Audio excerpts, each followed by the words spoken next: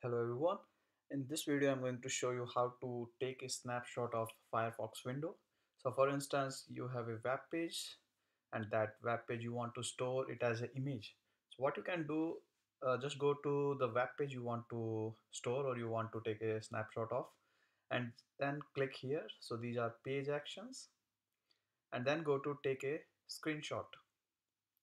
Now here uh, this tool actually will allow you to take screenshot of blocks in the page or in case if you want to take screenshot of entire page just click here.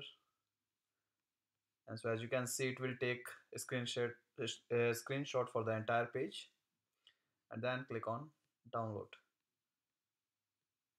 So the screenshot is saved in a png format. Thank you very much for watching